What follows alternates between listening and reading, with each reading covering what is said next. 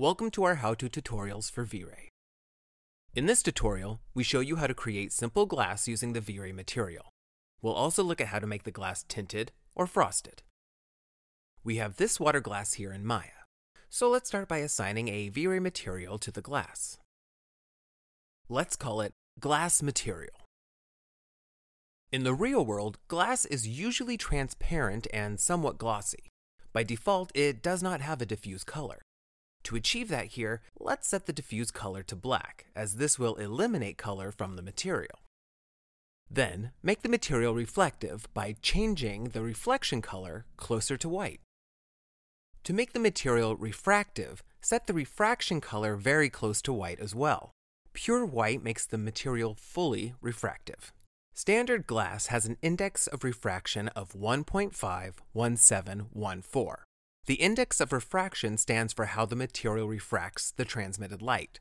Air has an IOR of 1, which means it is no obstacle for light transmission.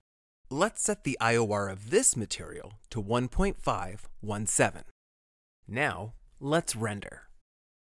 No glass material is perfectly glossy, so let's reduce the reflection glossiness a bit. Glass is not perfectly refractive in the real world either, so we reduce the refraction glossiness to 0.99. Leave the Fresnel reflections enabled as they are by default. Fresnel reflections ensure proper reflection of the object based on the view angle. If you disable them, the whole object will get uniform reflections all over, making it look fake. Often glass can be tinted with color. Let's see how to achieve that. V-Ray material has an option called fog color.